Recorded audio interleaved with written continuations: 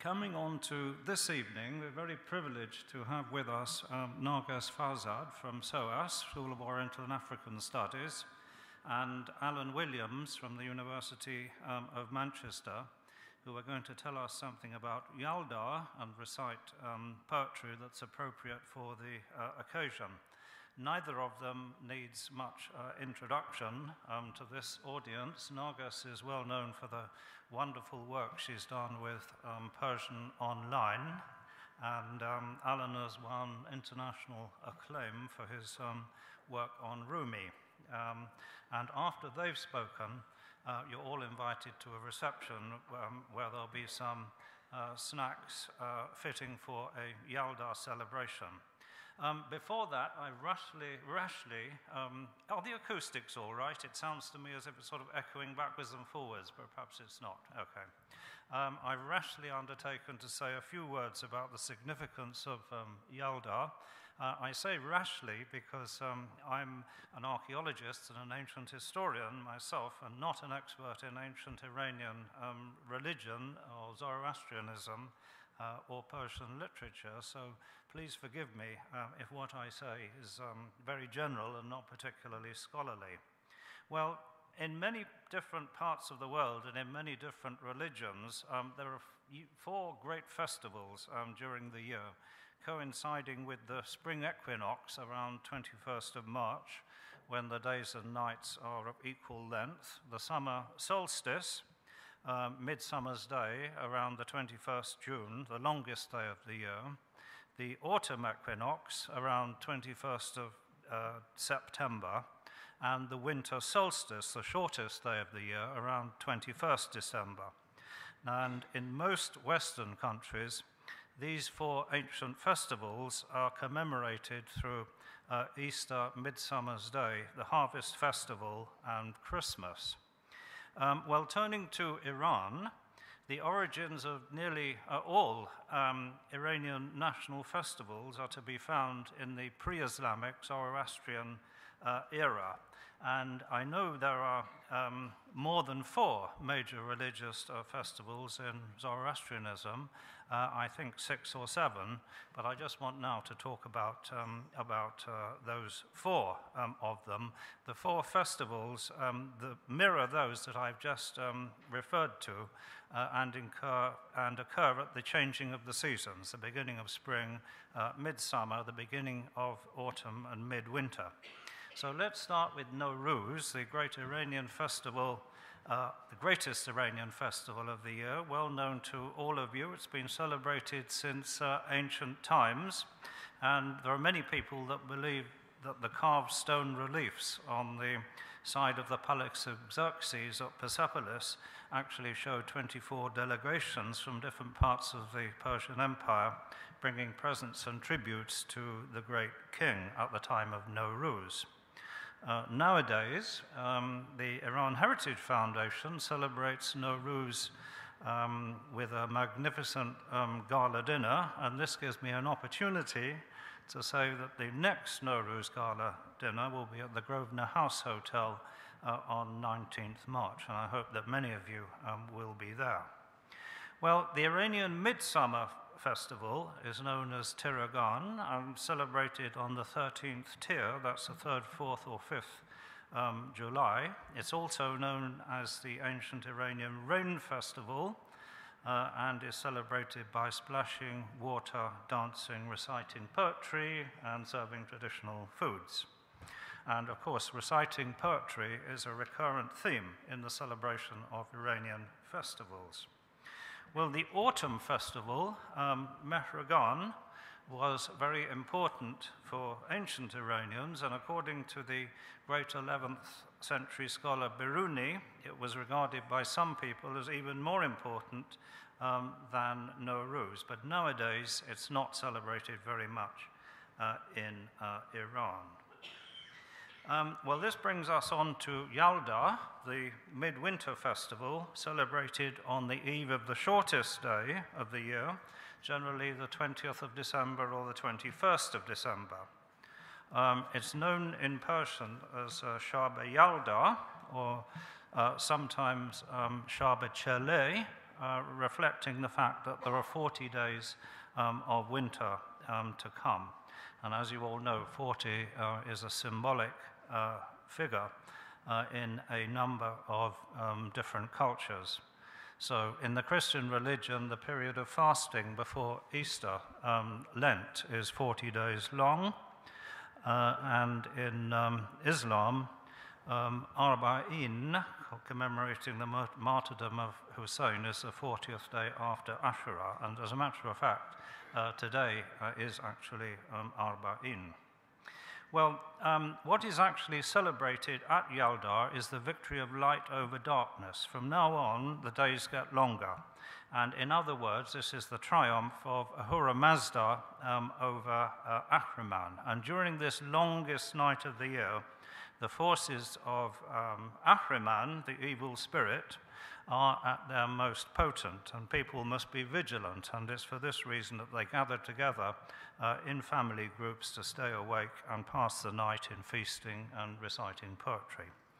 Well, Yalda is actually a Syriac word uh, meaning birth, and the festival also marks uh, the birthday of Mithra. Uh, in the Zoroastrian religion, one of the helper gods who assists um, Ahura Mazda in his struggle with um, Ahriman. Uh, and Mithra, of course, also became an important god in the Roman religion, and there are a number of Mithraeums, um, temples dedicated to Mithra around the world, uh, including one here in the city of London. Um, well, how is Yalda celebrated? I think probably Narguess is going to tell us something about that in a minute, but uh, traditionally, um, I'm sure many of you know much more about this than I do, but traditionally, I think Iranians eat fruit um, and nuts that have been stored um, throughout the autumn. Uh, fruits like uh, melons, pomegranates, apples, and oranges. Um, they also eat a mixture of nuts and dried fruits known as ajili moshkel gosha, and we might have some of that mixture uh, in the reception. I hope we do. We're supposed to. Let, us find out if we actually do or not. And if you would like to know more about uh, what should be in this ideal, I recommend to you the very wonderful book by um, Mariam Khosrow Shahi, which um, uh, describes that it's a mixture of seven nuts and dried fruits and tells you um, what they are. It's a very interesting book, but it doesn't actually mention um, Yalda.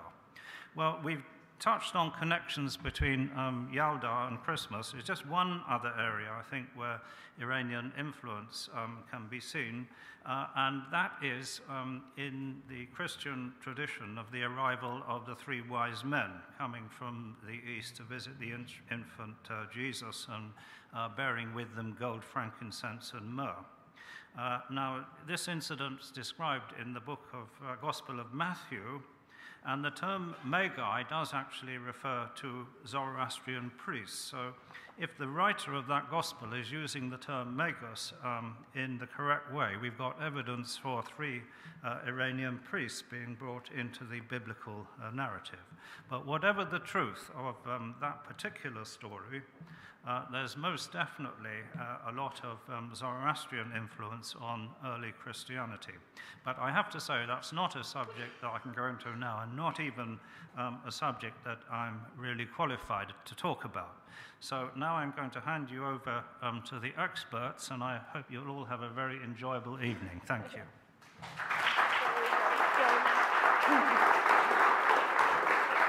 Thank you very much, John. It's always like being home here. It's certainly for me and Alan, both of us have other hats as members of the academic committee. So it really does feel like we are just um, feasting at our own party. Are we going to do a double act? I'm going to double act. I'm not. I will defer to Alan on all the authentic traditions of Yalda. I oh, can, only, I can only talk about um, in Iran. Somebody, a very dear friend, sent me a, um, an email saying that you know, telling us something about our own characteristics. And I was just thinking when John was talking that in this it said that. Um, of course, you know, if we think we are from the Parths, if you are the Parthian descendants, that's why any excuse to always have a good party. So I think uh, when we do feast and celebrate, there has to be poetry and there has to be celebration of this wonderful art of the word with music and lots of food and um, all sorts of beverages, alcoholic or otherwise. We'll leave it to your taste. We, um, I am not going to talk much about Yalda. You can certainly find out a lot more about it. But one of the things that is traditional at Yalda, perhaps if you were to decide how you are going to spend the longest night of the year, perhaps you know you'll have all sorts of ideas, and I'm sure poetry will complement whatever you want to do. And there's no shortage of material to select from. I had originally, when John very kindly um, asked me to do this tonight, had thought of something jolly, something, you know, perhaps mischievous even. Um, but then in the current climate, I just thought I don't really feel like reading a lot of jovial verses, even if they are from 12th century or 13th century or contemporary.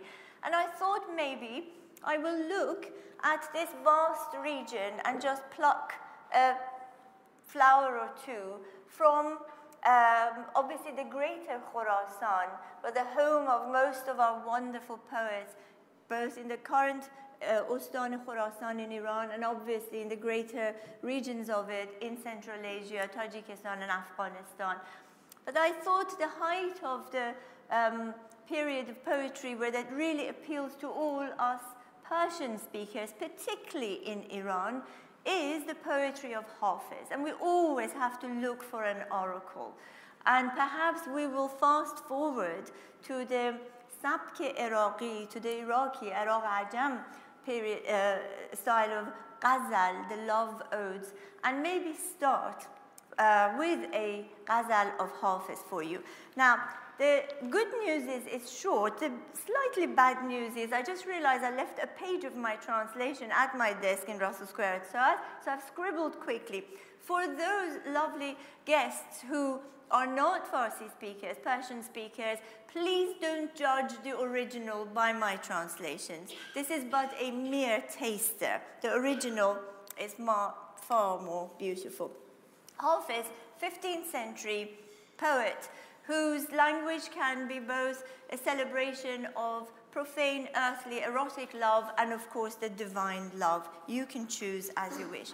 I selected this poem, and it really, I opened it last night, my uh, well thumbed Divan Hafiz, one of many, and this poem came up. And I realized that it was something a, a, bit familiar to it, and it's very similar to a ghazal of his contemporary Khaju. And if I just read the beginning of Khaju, منزل, منزل یار قرین است چه دوزخ چه بهشت سجدگر گر به نیاز است چه مسجد چه کنشت. جای آسایش مشتاق چه هامون و چه کوه. رهزن خاطر اشاق چه زیبا و چه زشت. And you will see that Hafiz's ghazal which certainly perfects the theme that Khaju started is um, really a response, a nod and a bow to Khaju's ideas. and as always, there is a dialogue between the hypocrites um, and those, or, or a chastisement of the hypocrites by the salt of the earth, by the rough diamonds. ای به رندان مکنه زاهد پاکیز سرشت که گناه دگران بر تو نخواهند نوشت. من اگر نیکم و گر بد تو برو خود را باش. هر کسی آن درود عاقبت کار که کشت. همه کس طالب یارند چه هوشیار و چه مست. همه جا خانه عشق است چه مسجد چه کنشت. سر تسلیم من و خشت در میکده ها مدعی گر نکند فهم سخن گو سر و خشت. ناامیدم مکن از سابقه لطف ازل. تو پس پرده چه دانی که که خوب است و که زشت؟ نه من از پرده تقوا هدر افتادم و بس. نه من از پرده تقوا هدر افتادم و بس. پدرم نیز بهشت ابد از دست بهشت. حافظا روز عجل گر به کفاری جامی یک سر از سوی خرابات برندت به بهشت. And my rough translations, if I can subject you to that for those who are not here. Do not censor the rogues, O pure natured ascetic. The sins of others will not be recorded against yours. Whether I am good, whether I am bad, you go and worry about yourself.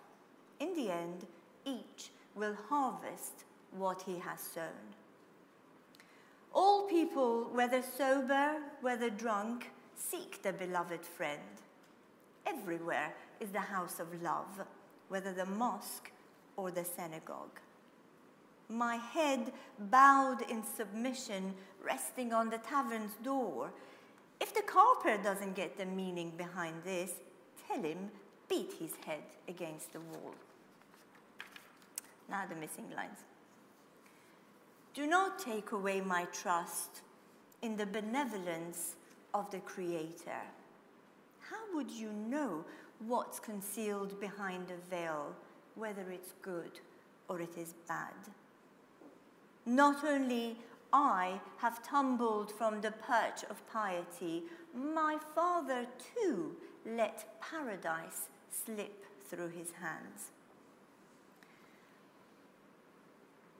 O Hafiz, if on the day of judgment you were to hold a cup of wine, they will take you straight from the tavern right on to the paradise. I apologize, that was not as good as what I had uh, towards the end. Now, I want to take you very briefly to Kabul, where Persian poetry, Persian language is celebrated and absolutely adored. It would be dishonest to say that all Afghanis um, revere Persian. Of course not, but Pashtus perhaps um, have different priorities, but certainly Persian poetry is thriving. And the uh, preoccupations of a modern poet there, Reza Mohammadi. سیاست رودخانه بزرگی است که قریه های ما را از هم جدا می کند. ای سربازان توفنگ هایتان را جمع کنید. بیسیم هایتان را ببندید. دستبند و هشدار و کمین چه بکار است؟ ما از شما نیستیم. تنها می‌خواهیم از رودخانه رد شویم. توپمان آن طرف افتاده است. The Football by the contemporary poet Reza Mohammadi. Politics is a vast river that divides our villages. Oh, soldiers, put down your guns and still your radios. There is no need for handcuffs, for warnings, for an ambush. We're not one of you. We just want to get across and get our ball back. And then I go right up to the home of the revival of Persian language, the new Persian of um, the 9th century, 10th century onwards, which was very much through poetry. And I want to Re, uh, I beg, yes, uh, uh, before going right to Central Asia, actually perhaps in the order, would be to pause in our own Khorasan, in Mashhad, and to read you a, a poem entitled Zemistan, the winter, which is by Mehdi Akhavan Salis. I think my most favorite um, modern poet. Akhavan Salis was born in Mashhad in 1926 and very sadly passed away in 1990. Uh, and um, his life um, traverses a very political period in Iran, both the um, uh, shadow of the Second World War on Iran, the coup of 1953, the political meltdown, and then all, all the way through the beginnings of the Islamic Revolution. So this is a poem about winter, um, and I won't explain it. I'm sure you know it by heart, and then I'll read the translation. سلامت را نمیخواهند پاسخ گفت سرها در گریبان است.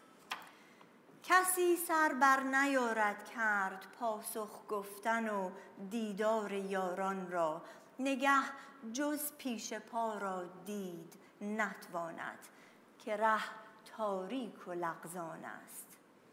وگر دست محبت سوی کس یازی به اکراه آورد دست از بغل بیرون که سرما سخت سوزان است.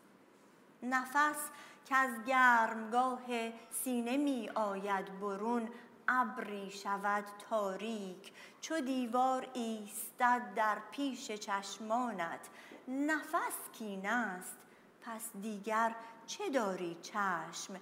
ز چشم دوستان دور یا نزدیک. مسیحای جوان مسیحای جوان مرد من ای ترسای پیر پیرهن چرکین هوا بس ناجوان مردانه سرد است. آی دمت گرم و سرت خوش باد. سلامم را تو پاسخ گوی در را بکشای منم من میهمان هر شبت لولی وش مقموم منم من سنگ تیپا خورده رنجور. منم دشنام پست آفرینش نقمه ناجور. نه از رومم نه از زنگم همان بیرنگ بیرنگم. بیا بکشای در بکشای دلتنگم. حریفا میزبان حریفا میزبانا میهمان سال و ماهت پشت در چون موج میلرزد. تگرگی نیست مرگی نیست صدایی گر شنیدی صحبت سرما و دندان است. من امشب آمدستم وام بگذارم حسابت را کنار جام بگذارم. چه می‌گویی که بیگه شد سحر شد بامداد آمد فریبت می‌دهد بر آسمان؟ این سرخی بعد از سحرگه نیست. حریفا گوش سرما برده است. این یادگار سیلی سرد زمستان است. و قندیل سپهر تنگ میدان مرده یا زنده به تابوت ستبر ظلمت نه توی مرگ اندود پنهان است. حریفا رو چراغ باده را بفروز. شب با روز یکسان است. سلامت را نمی‌خواهند پاسخ گفت. هوا دلگیر درها بسته سرها در گریبان دستها پنهان نفسها ابر دلها خسته و غمگین. درختان اسکلت های بلوراجین زمین دل مرده سقف آسمان کوتاه. قبار آلوده مهر و ماه زمستان است. So, do I have time to do my English as well? I can do, not do the other one. Okay. they don't want to return your greetings. Chins tucked into the collars, and no one lifts their eyes or bothers a response. Eyes fixed firmly on the road, and then friend's eyes do not meet yours. The road is slippery and the light dim. And if you stretch out a hand of, hand of friendship towards someone with reluctance, will they remove their hands from the warmth of their pockets? For the cold is blisteringly cruel. From the warmth of the breast, breath rises in visible puffs, shaping a wall before your eyes. If breath can be so menacing, then what to expect from the glances of friends, close or distant? Oh, my kindly Messiah, my old caring amigo, clad in your grubby stained shirt, long may you live and happy may you thrive. Won't you return my salutations and open the door? It's me, your forlorn, nightly drifting guest. It's me, that wretched clod of clay, trodden and kicked out of the way. It's me, the creation's sad joke, fallen flat, the wrong note, ill fitted in a tune. Neither ebony nor ivory, I am that colorless, sallow soul. Please open the door, I am desolate and crushed. Oh, comrade, my gracious host, it's your long-time guest shivering behind the door. There have been no deaths, nor a hailstorm. If there is a noise you hear, it's only the teeth chattering with the cold. I have turned up tonight to repay my debt, to leave beside the glass what I owe you. What do you mean it is late? It's nearly dawn. The sun has risen. The sky is playing tricks on you. This red is not the glow of morn. Comrade, the cold has sliced the lobe. The bites are keepsakes of frost. And the frosted pendant festooned on the sky, dead or alive, is wrapped in ten folds of death's felt, tucked hidden in the thick coffin of darkness. Oh, comrade, hurry and light the lantern of wine. The night just mimics the day. سلامت را نمیخواهند پاسخ داد. They do not want to return your greetings.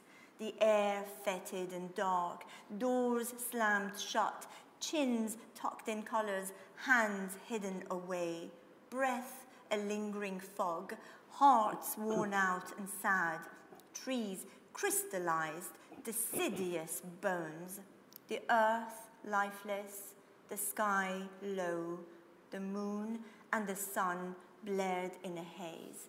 It is winter. and do I have a quick one from Farzona of Khojand? Or would you rather I stop? Please. Shall I do Farzona? Okay. This lady, who is my absolute um, heroine and my uh, wonderful soulmate, the national poet of uh, Tajikistan, Farzona Khojandi. So we now go to Khojand, very close on the edges of the Fergana Valley, very near the Sir Daryo, the wonderful river. And this poem, for a light, more lighter mood, is called Sibe Dozdi. And in it, she refers to Bahman who is a thriller writer and a Tajik um, uh, novelist. Dive Ma, I'm talking about month of day, which is um, when just after Yalda, the uh, winter solstice heralds the start of Capricorn, I think it is. دیو ماه در آغوش حریسش شیشه را میلرزاند یاد من آید قولک قصه بهمنیار قول زشتی که ناز بردار زیبایی است دیو دی ماه هم به شیشه می‌زند انگشت و بی پری تمناهایش باز به تنهایی خود برمیگردد. من به راغ کنار روزنه ها چسب می‌زنم.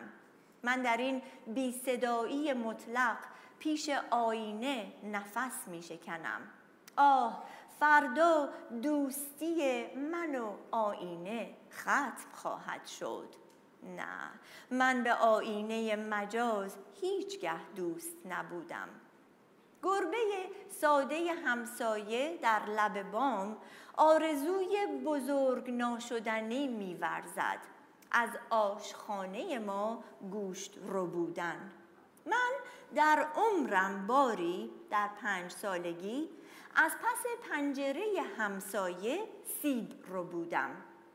یک شکر سیب اطلسی که مادرش محتاب پدرش خورشید است. گاه دزدی به دست افتادم. بیرون آمد ز خانه نو عروس همسایه. گفت نزدیک بیا دستهایم لرزید. دلم از شاخه سینه ام افتاد. سیب لبخندی زد. من گنهکار بزرگی بودم. گناه من گرانتر از گناه آدم و حوا بود. نو عروس قافل به رخم بوسه زد و گفت این دست رومال اطلسی را به تو می بخشم. من چه خوشبخت گنهکاری بودم. من فقط یک بار دزدی کردم. لیک روزی ناشناسی گفت سیب من در قفس سینه چراغک می‌زد. تو چرا دزدیدی؟ من چه خوشبخت گنهکاری بودم.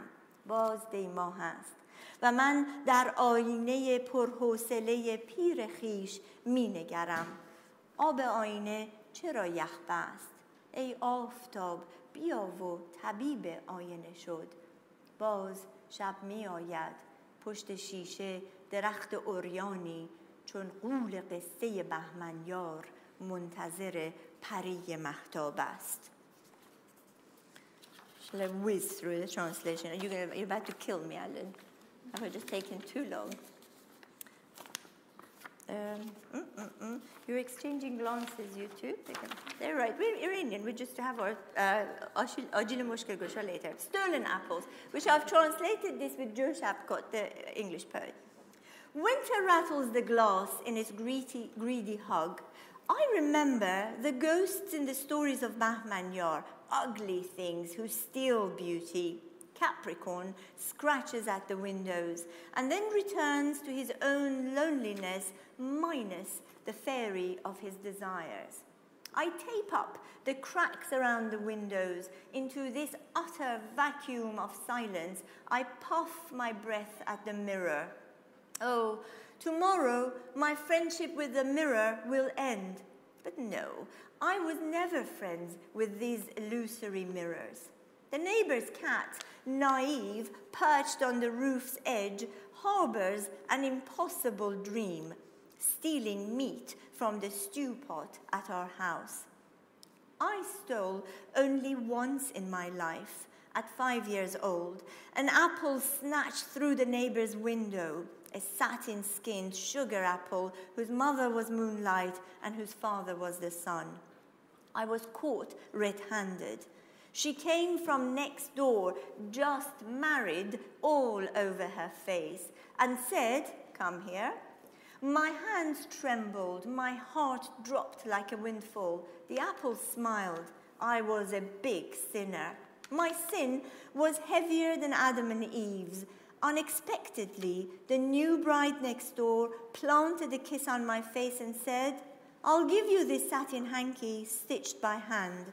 I was a lucky sinner. I only stole that once, but one day a stranger said to me, My apple used to twinkle in my breast. Why did you steal it? I was a lucky sinner. It's December again. And in the mirror, I look at my old patience. Why did the mirror freeze over? Night comes again. Behind the windows, the naked tree, like the ghost in the stories of Bahman Yar, waits for the fairy of the moonlight.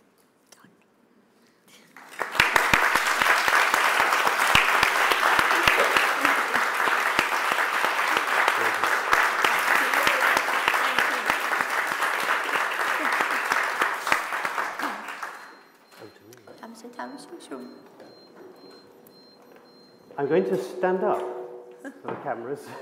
Sorry about that.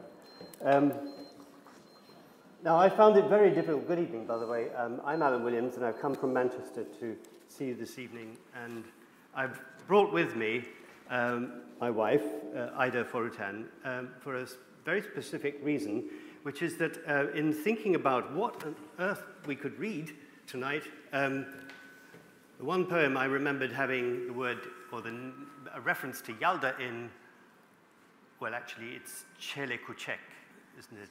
Chelekuchek, is Paria, and uh, by Shamlu. And I know that Aida has known it by heart for many years. And so I asked her, rather than you suffer my appalling rendering of Paria, uh, Aida's going to perform it for you, shall we say, or read it for you, perform it. And um, then I am going to make you suffer by inflicting on you one Farangi's translation of one of the most accomplished poems of the 20th century, uh, which is a terrible thing to inflict on you. But if you'd rather not, say at the end of Aida's performance, and I'll just sit down and get on with something else. Uh, then the rest of the, what are the, the other, then I'm going to go way, way back in time. Um, and uh, see, I'm also, in another life, I'm also a Zoroastrianist. And I'm going to, to read you some very rare example of some Persian Zoroastrian poetry, just a little bit as a taster, because this is where it all comes from. And then I'm going to move forward into what is my daily bread and butter, which is Molana. And I'm going to read you uh, some short extracts uh, from three things I haven't published yet from books two, three, and four, because uh, I'm working on the whole thing of the, of the Masnavi. So without further ado, um, I'm going to ask Aida to do Paria. Thank you.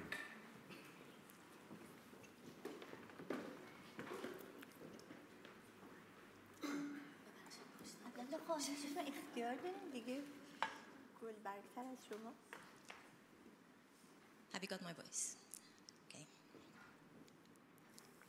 یکی بود یکی نبود. زیر گنبد کبود لخت اور تنگ غروب سه تا پری نشسته بود. زار و زار گریه می‌کردن پریا. مثل ابرای بهار گریه می‌کردن پریا. گیسشون قد کمون رنگ شبق از کمون بلند ترک از شبق مشکی ترک. رو به روشون تو افق شهر غلامای اسیر پشتشون سرد و سیاه قلعه افسانه پیر. از افق جیرینگ جیرینگ صدای زنجیر می اومد. از عقب از توی برج ناله شبگیر می اومد. پریا گشنتونه پریا تشنتونه پریا خسته شدین مرغ پربسته شدین چیه این های هایتون؟ گریتون. وای وایتون. پریا هیچی نگفتن. زار و زار گریه می‌کردن پریا. مثل ابرای بهار گریه می‌کردن پریا. پریای نازنین. چه زار می‌زنین. توی این صحرای دور توی این تنگ غروب نمیگین برف میاد نمیگین بارون میاد نمیگین گرگه میاد میخوردتون نمیگین دیبه میاد یه لخ می‌خوام میکندتون. نمیترسین پریا نمیاین به شهر ما. شهر ما صداش میاد صدای زنجیراش میاد. پریا قد رشیدم ببینین اسب سپیدم ببینین. اسب سپید نقره نل یال و دمش رنگ اصل مرکب سرسرتک من آهوی آهن رگ من. گردن ساقشو ببینین باد دماغشو ببینین. امشب تو شهر چراغونه. خونه دیبا داغونه. مردم ده مهمونمان با دام و دوم به شهر میان. داریه و دنبک می‌زنن میرقصن و میرقصونن. قنچه خندون میریزن نقل بیابون میریزن. های می‌کشن هوی می‌کشن. شهر جای ما شد. عید مردم ماست دیب گله داره. دنیا مال ماست دیب گله داره. سفیدی پادشاست دیب گله داره. سیاهی رو سیاس دیب گله داره. پریا دیگه تو که روز شکسته درای قرعه بسته. اگه تا زود بلنشین سوار اسب منشین می‌رسیم به شهر مردم. ببینین صداش میاد. جینگ و جینگ ریختن زنجیر برده هاش میاد. آره زنجیرای گرون حلقه به حلقه لابلا میریزن ز دست و پا پوسیدن پاره میشن. دیبا بیچاره میشن. سر به جنگل بذارن جنگل و خارزار می‌بینن. سر به صحرا بذارن کویر و نمکزار می‌بینن. عوضش تو شهر ما آخ نمی‌دونیم پریا. در برجا وا میشن بردهدارا رسوا میشن. علوما آزاد میشن. فیرونه ها آباد میشن. هر کی که قصه داره غمش زمین می‌ذاره. قالی میشن حسیرا آزاد میشن اسیرا. اسیرا کینه دارن داستشون رو بر میدارن سیل میشن شر شر شر آتیش میشن گر گر گر. تو قلب شب که بدگله آتیش بازی چه خوشگله. آتیش آتیش چه خوبه حالام تنگ غروبه. چیزی به شب نمونده به سوز تب نمونده. بجستن و وجستن تو حوز نقره جستن. الان غلاما وایستادن که مشعلا رو بردارن بزنن به جون شب ظلمت و داغونش کنن. امو زنجیر باف و پالون بزنن وارد میدونش کنن. به جایی که شنگولش کنن سکه یه پولش کنن. دست همو بچسبن دور یارو برقصن همون مکمور چه داره بشین و پاشو در بیارن. قفل صندوق چه داره بشین و پاشو در بیارن. پریا بس دیگه های هایتون گریتون وای وایتون. پریا هیچی نگفتن. زار و زار گریه می‌کردن پریا. مثل ابرای بهار گریه می‌کردن پریا. پریای خط خطی آریون و لخباپتی شبای چله کوچیک که زیر کرسی چیک و چیک. تخمه میشکستیم و بارون میومد صداش تو نافدون میومد. بیبی جون قصه می‌گفت حرفای سربسته می‌گفت. قصه زرد پری سبز پری قصه سنگ صبور بزروی بون قصه دختر شاه پریون. شما این اون پریا. اومدین دنیای ما. حالا هی هرس می‌خورین جوش می‌خورین قصه خاموش می‌خورین که دنیامون خالخالیه قصه و رنج خالیه. دنیای ما قصه نبود پیغوم سربسته نبود. دنیای ما عیونه هر کی می‌خواد بدونه. دنیای ما خار داره بیابوناش مار داره. هر کی باهاش کار داره دلش خبردار داره. دنیای ما بزرگه. پر از شغال و گرگه دنیای ما هی هی هی. عقب آتیش. لی لی لی. آتیش می‌خوای بالا ترک تا کف پا. ترک ترک. دنیای ما همینه. بخوای نخواهی اینه. خب پریای قصه مرغای پرشکسته. آبتون نبود دونتون نبود چای و قلیونتون نبود. کی بهتون گفت که بیاین دنیای ما دنیای واویلای ما؟ قله قصتون رو ول بکنین کارتون رو مشکل بکنین. پریا هیچی نگفتن. زار و زار گریه می‌کردن پریا. مثل ابرای بهار گریه می‌کردن پریا. دست زدم به شونشون که کنم روونشون. پریا جیغ زدن ویغ زدن جادو بودن دود شدن بالا رفتن تار شدن پایین اومدن پود شدن. پیر شدن گریه شدن جوون شدن خنده شدن خان شدن بنده شدن خروس سرکنده شدن. میوه شدن هسته شدن انار سربسته شدن. امید شدن یأس شدن ستاره نحس شدن. وقتی دیدن ستاره به من اثر نداره می‌بینم و هاشا می‌کنم. بازی رو تماشا می‌کنم. هاج و واج منگ نمیشم. از جادو سنگ نمیشم. یکیش تنگ شراب شد. یکیش دریای آب شد. یکیش کوه شد و زغ زد. تو آسمون توتق زد. شراب و سر کشیدم. پاشنه رو ور کشیدم. زدم به دریا تر شدم. از اون ورش به در شدم. دویدم و دویدم. بالای کوه رسیدم. اون بر کو ساز می زدن همپای آواز می زدن. دلنگ دلنگ شاد شدیم از ستم آزاد شدیم. خورشید خانوم آفتاب کرد کلی برنج تو آب کرد. خورشید خانوم بفرمایید از اون بالا بیایم پایین. ما ظلم و نفله کردیم آزادی رو قبله کردیم. از وقتی خلق با شد زندگی مال ما شد. از شادی سیر نمیشیم دیگه اسیر نمیشیم. دیگه اسیر نمیشیم. ها جستیم و جستیم تو حوز نقره جستیم. سیب طلا رو چیدیم به خونمون رسیدیم. به خونمون رسیدیم. بالا رفتیم دوغ بود. قصه بیبیم دروغ بود. پایین اومدیم راست بود. پایین اومدیم ماست بود. قصه ما راست بود. قصه ما به سر رسید. قلاقه به خونش نرسید. آچینو واچین زنجیرو برچین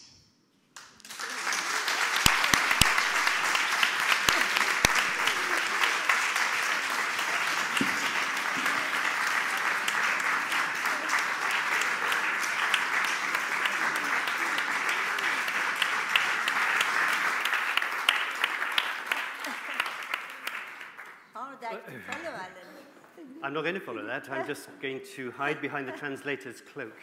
Um, this is, I can say, the most difficult thing I've translated in a number of years, probably up in the top five. Um, only mainly because it's, as you know, so there's so many references to things that are virtually untranslatable. References to nursery rhymes and to, to all sorts of things that just wrestle them to the ground and they won't translate. But here I, here I go. I've called it something else, actually, um, because he called it fairies, Paria. I've called it Away with the Fairies uh, by Alan Williams, uh, uh, because uh, there is one verse in which he says, Padioke konam ravuna shun, ravuna shun. So uh, he's sending them away. Paddy. Once upon a time, or then again not, under the blue vault of heaven, three fairies sat, naked and bare as the sun went down.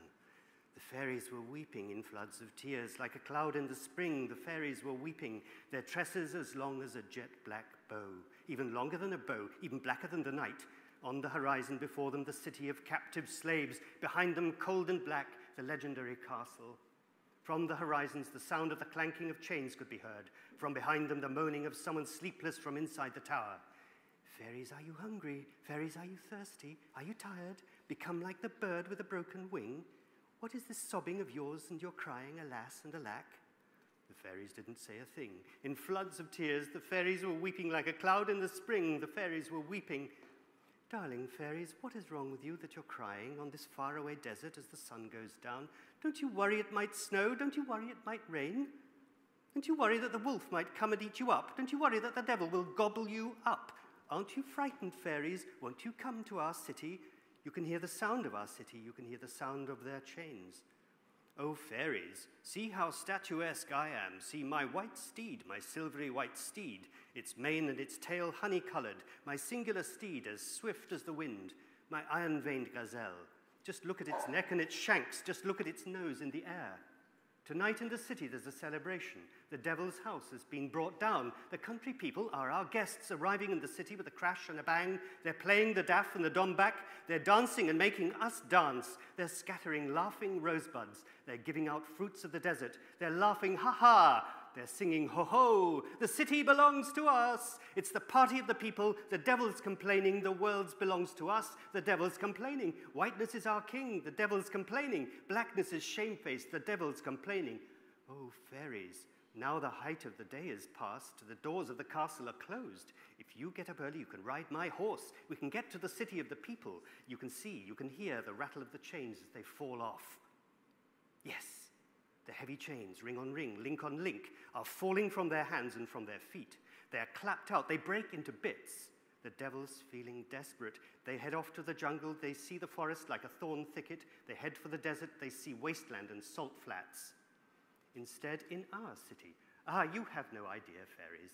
The tower door is open, the slave owners are in disgrace, the servants are freed, the ruins are repaired, all who are in sorrow, they put their sorrow down. Straw mats turn into carpets. The prisoners are set free. The prisoners want revenge. They take up their sickles, become a flood. Whoosh! Become a fire. Roar! In the heart of the night, which is ugly, the fireworks are so beautiful. The fire, the fire, how splendid. Now again, the sun's going down. The night is upon us.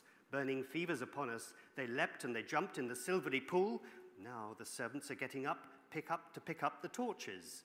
They strike at the night soul, smashing up its darkness. They're putting the saddlebag on Uncle Jan- Zangier's bu- they're putting the saddlebags on Uncle Zangier buff, bringing him to the square where they're making him tipsy. They really cut him down to size. They hold each other's hands. They dance around the fellow. They go, There's ants in the bath, sit down, get up. They go with a lock and a chest, sit down, get up.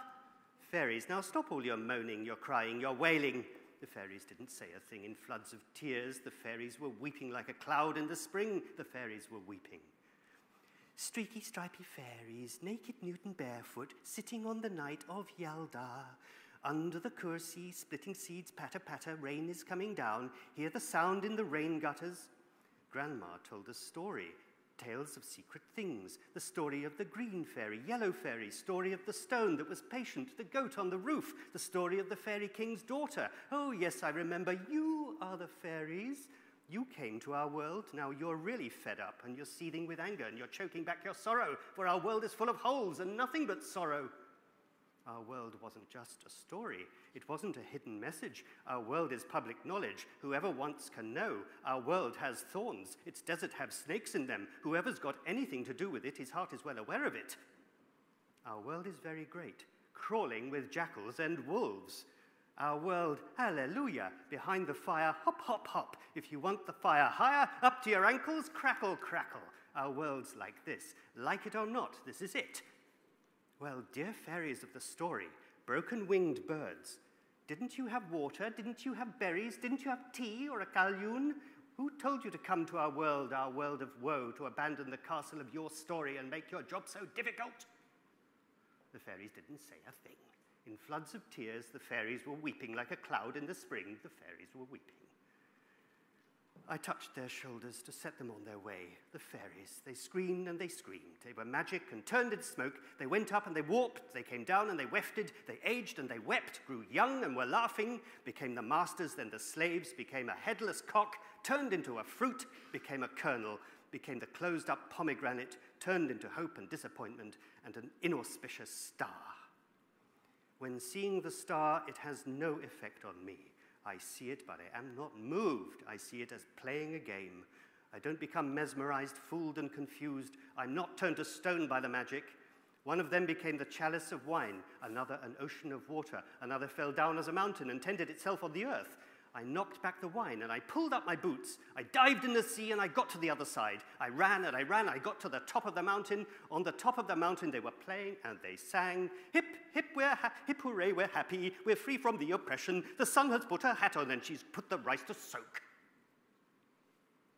Lady Sun, if you will, please come down, come down from on high. We put tyranny to death. We made freedom our ambition. Since the time that the people rose up, Life became ours. We are not sick of happiness. We'll not be prisoners anymore. We leapt and we jumped in the silvery pool. We picked up the golden apple and we came home. We went up, it was Dur. Our grandmother's story was false. We came down, it was masked. Our story was true. Our story has come to an end. The crow did never get home. Pick it up and pass it on. Off with the shackles.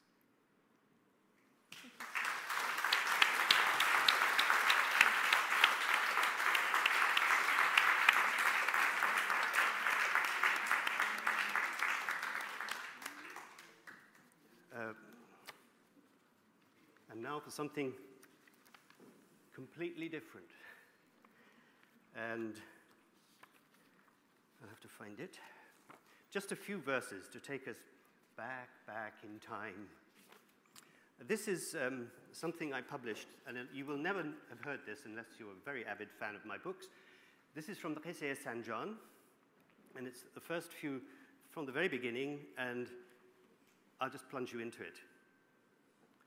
کنون بشنو شگفتی داستان ها ز گفت موبدان و باستان ها اگر گویم به تقریرش نگنجد به کاغذ نیز تحریرش نگنجد. ولیکن من از او اندک بجویم سخن گر صد بود من یک بگویم. شنیدستم من از دانای دستور که همواره به خوبی بود مشهور همو زند و اوستا خوانده بوده. از خود اهریمانان را رانده بوده. ز گفت باستان این داستان گفت. نهانی رازهای راستان گفت. به یک روز به ما این قصه گفته. به نیکویی داره اخبار سفته. همان دستور این قصه به من گفت. برا نیکی همیشه باد هم جفت. ز گفتارش حکایت بازگویم ز کار مرد بهدین راز گویم. در آیامی که شاه گشتاس بوده شو زرتشت راه دین نموده به وستا در بگفته حالها را ستمگر شاه پدید آید شما را. سبار دین به باشد شکسته که او بهدین شود تاراج و خسته. همان شاه را ستمگر نام باشد از او دین بهی بی کام باشد. ز دین کنون گویم خبردار چنان شد باز بهدین زار و بیزار. سکندر شاه شان آمد در آخر. کتب ها سوخت او در دین به ظاهر. به سیصد سال این دین خار گشته ستم بر, بر مردم دین دار گشته. پس از وی مدتی دین شاه شد دین پناهی. گرفته اردشیرش پادشاهی. دگر باره بهی دین دین بهی دین تازه گشته. به عالم در نکو آواز گشته. به درگاه ایزدی آردای ویراف فرستاده بود به مینو بهر اوصاف. و آن پس هم گنامی نو گجسته مرین را را دگر بار شکسته به دین به خلل انداخته باز. برآمد هر طرف از دین برآواز. پس از مدت که آمد شاه شاپور دگر باره بهی دین کرد پر نور. چو آدر, آدر باد مهرسفند دین دار ز بهر دین کمر بسته در این کار. ز جنس هفت گونه رای آمیخت همه با داخت چون بر تنش ریخت. ز دینان همی مشکل گشادش همین دین را دگر را زیب دادش. هم از شاپور شاه تا یزدگر شاه رسید دین به را زینت و جا سر آمد روز زرتشت از زمانه نجست کس زبه دین نشانه. چو از زرتشت سال آمد هزاره ز دین به همی آمد کناره چو از شاه یزدگر شاهی برفته که جد دین آمد و تختش گرفته. از آن مدت مدت شکست گشت ایران در ایگان ملک دین افتاد ویران.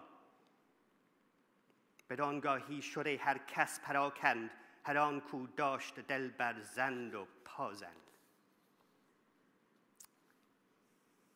چو بهدینان و دستوران سراسر ز کار دین نهان گشتند یک سر مقام و جای و باغ و کاخ و ایوان همه بگذاشتند از بهر دینشان The rest is history. I will read uh, my translation. Now listen to the tales of wondrous things told from the law of priests and ancient sages. I tell it, but it's not contained in telling, and writing cannot limit it to paper. But I would seek to tell a little portion. Without a hundred words, I'd say just one. I came to hear it from a wise Dastur, whose goodness made him famous for all time, and he had read the Zand and the Avesta. He'd rid himself of Ahriman's dark forces. He told this tale just as the ancients told it. He spoke the hidden mysteries of the righteous. One day it was he told this story to us, strung beautifully the pearls of past events. For that Dastur who told this story to me, may goodness be his ever present friend. I shall relate, relate the story in his words. I'll tell the secret deeds of Zoroastrians. In King Vishtaspa's days, religion's path was brought to light by holy Zarathustra. He told of things to come in the Avesta. Oppressive kings will show themselves to you. Three times the good religion will be broken. Each time the faithful will be crushed and wounded. The name of these three kings will be oppressor, and hence the noble faith become despairing. I speak now of religion's work, so listen how once again the noble faith was weakened. At length King Alexander came upon them. He burnt religion's holy books in public. 300 years this faith was brought down low and tyranny oppressed its faithful people. Then, after, for a while, the faith found refuge when Ardashir took sovereignty over it. And once again, the noble faith could flourish. It came to be illustrious in the world. Ardaviraf was posted to God's court in order to describe the world of spirit. And after that, the accursed evil spirit wrought his destruction on this way again. Again, he cast the noble faith to ruin. The faith came into evil repute ill repute all round. A time passed when Shapur came to the throne, he made the good faith full of light again. When Adubad Mahraspan the faithful resigned himself like this for the religion, the seven brazen substances were mixed, all molten as they flowed upon his body. He solved the problems of the Zoroastrians. He gave this faith its dignity again. And from King Shapur until Yazdegerd, the noble faith was honored and respected. By fate, the days of Zarathustra ended. No one could even trace the noble path. When Zarathustra's thousandth year had come, the limit of the noble faith came too. When kingship went from Yazdegerd the king, the infidels arrived and took his throne. From that time forth, Iran was smashed to pieces. Alas, that land of faith now gone to ruin. And at that time, all those who fixed their hearts upon the Zand and Pazand scattered, when every layman and dastur at once went into hiding for religion's sake. Left homes, lands, gardens, villas, palaces, they left all for the sake of their religion.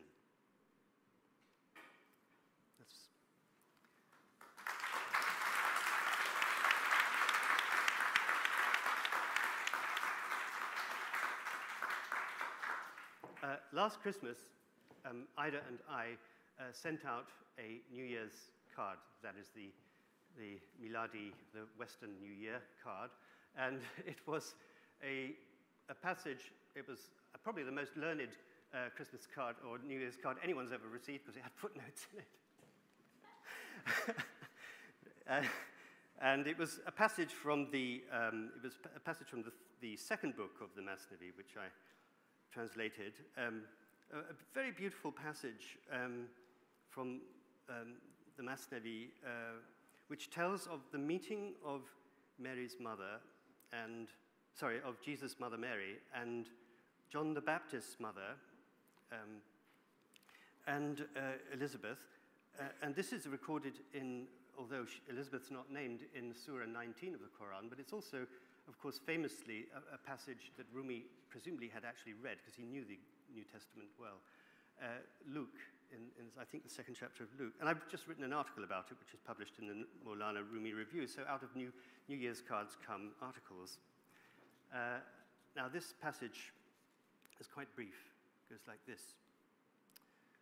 مادر یحیی به مریم در نهفت پیشتر پیشتر از وضع هم حمل خیش گفت که یقین دیدم درون تو شاهیست که کو علول از مو I've got to get the meter right after reading that. قصه سنجان just excuse me. فاعلاتون فاعلاتون فاعلون فاعلاتون فاعلاتون فاعلون. Right. Okay. مادر یحیی به مریم در نهفت. پیشتر از, پیشتر از باز حمله خیش گفت که یقین دیدم درون تو شهیست کو علول از رسول آگاهیست چون برابر افتادم با تو من کرد سجده حمل من ای زلفتان زلفتن. این جنین مر آن جنین را سجده کرد. که از سجودش در تنم افتاد درد. گفت مریم من درون خیش هم سجده ای دیدم از این طفل شکم. ابلهان گویند که این افسانه را خط بکش زیرا دروغ است و خطا. زان که مریم وقت وضع حمل خیش بود از بیگان دور و همز خیش. از برون شهر آن, شهر آن شیرین فسون تا نشد فارد نیامد خود درون. مریم در حمل جفت کس نشد از برون شهر او و پس نشد. چون به زادش آنگهانش بر کنار برگرفت و برد تا پیش و تبار. مادر یحیی کجا دیدش که تا گوید او را این سخن در ماجرا؟ این نداند کان که اهل خاطر است غایب آفاق او را حاضر است. پیش مریم حاضر آید در نظر مادر یحیی که دور است از بسر دیده ها بسته ببیند دوست را چون مشبک کرده باشد پوست, پوست را. و ندیدش نز برون نز اندرون. از حکایت گیر معنی ای زبون. نی چنان کفسانه ها بشنیده بود همچو شین بر نقش آن چفسیده بود. تا همی گفت آن کلیل ای بی زبان چون سخن نوشد ز دمن بی بیان. ور بدانستند لحن همدیگر فهم آن چون کرد بی نطقی بشر. در میان شیر و گاو آن دمنه چون شد رسول و خواند بر هر دو فسون. چون وزیر شیر شد گاو نبیل چون ز عکس ماه ترسان گشت پیل. این کلیل و دمن جمله افتراست ورنکه با زاگ لک لک را مراست. ای برادر قصه چون پیمانه است معنی اندر وی مثال دانه است دانه معنی بگیرد مرد عقل ننگرد پیمان را گرگشت نقل.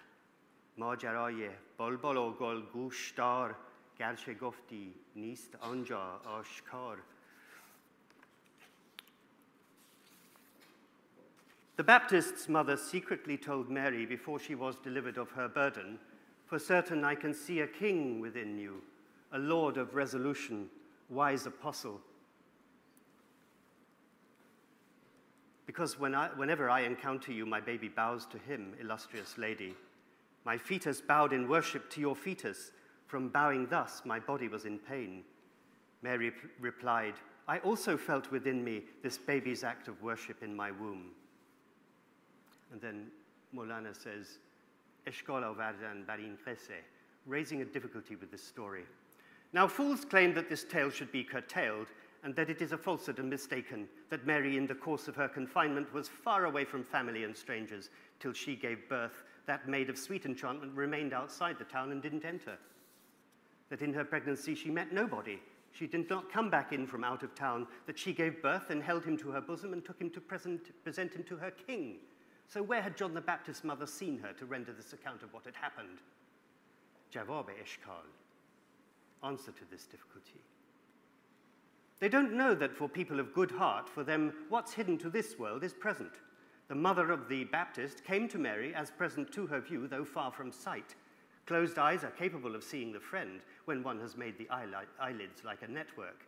Though she may not have seen her, in or outside, just grasp the story's meaning, simpleton. Not like the man who'd heard some mythic tales and had got stuck in some myth understanding. He'd say, How could that tongue tied beast Kalila take in the words that came from speechless Demne? And if they understood each other's babbling, how could a human understand such nonsense?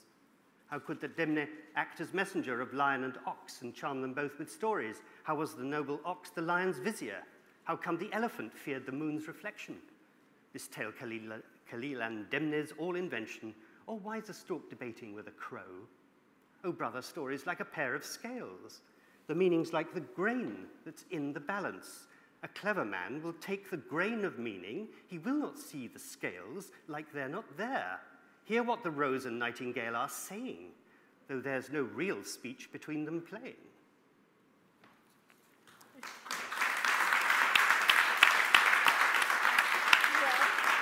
Hmm? Well, I've been on for 20, 25. I'll do one more.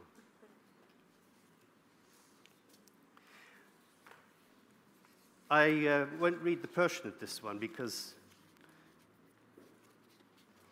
uh, it's too painful for you, I think. So I will read the English. Um, it comes from the fourth book of the Masnavi. It is not very long, but it's one of the, I think, well, it, it Nicholson, who translated it uh, last time, uh, said it, he thought it was the most sublime passage in the Masnavi. And uh, I was very moved by it, and I've read it at several people's funerals. so I'll end this evening's performance by reading you this sublime passage. It begins سال ها مردی که در شهری بود یک زمان که چشم در خوابی رود شهری دیگر بیند و پر نیک و بد هیچ در, هیچ در یادش نیاید شهر خد if anybody remembers that passage, those of you who are experts in the Masnavi. And here is my translation. For years, a man may dwell within a city. The moment when his eye goes off to sleep, he sees another, full of good and bad, and nothing of his city is recalled. with thoughts of, I was there, this city's new, this isn't mine, and I'm just a guest. And no, he thinks that he has always been here in this very city, born and bred, what wonder if the Spirit's own abodes, which were its dwellings in its former births, are now forgotten? For this world, like sleep, enfolds her as the clouds obscure the stars. More so, from all the cities she has trodden, the layers of dust are unswept from her sight. She has not striven ardently in order to purify the heart and see what's happened, to raise her heart out of the pit of mystery and see with open eyes both first and last. At first, one came to inorganic realms, from inorganic to organic life. For years, one lived on in, in an organic state and now forgot the inorganic world. And when one passed from plant to animal, there was no memory of the state of plants, except a feeling which one had for them. It's so strong in springtime with its fragrant flowers, and they, like babies feeling for their mother, knew not the secret of their urge to suckle like every novice's obsessiveness towards his noble fear, peer of generous fortune. This finite mind is from that perfect mind. This shadow's tremblings from that perfect bow. One's shadow passes into him at last, and then one knows the secret of the quest. How can the shadow of another bough be stirred, O blessed man, if this tree does not tremble? Again, the Lord Creator, whom you know, takes us from animal to human nature, and so one went from state to state like this till one became enlightened, wise, and great. There's no recalling prior states of mind. From this one, too, there is advancing onward. So one escapes this mind of greed and gain to see a hundred thousand minds of wonder. If one should fall asleep and lose the past, how could one be abandoned in oblivion? They bring one back to wakefulness from sleep that one may laugh at one's own sleepy state. What was that sorrow suffered in my sleep? And how could I forget the truthful states and could not see the sorrows and those ills result from sleep, deception, fantasy? Thus is this world, which is the sleeper's dream. The sleeper thinks it truly is eternal, till suddenly the dawn of death shall break, and we escape thought's darkness and deceit, and laughter at your sorrows overcomes you, to see your true abode and dwelling place. Thank you.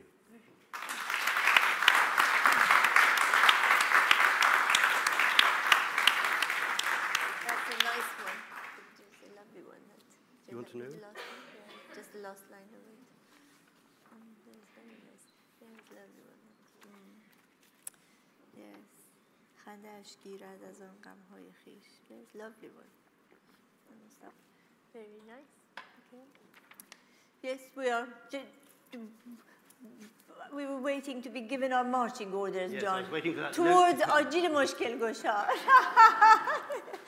But you have to say nobody is allowed to have any gloss of anything unless they can recite a line of poem, poetry. so again. anyway, thank you very much for putting up with us. And we have to say thank you definitely to the wonderful performers, one of my favorites, uh, absolutely. Aida, definitely good.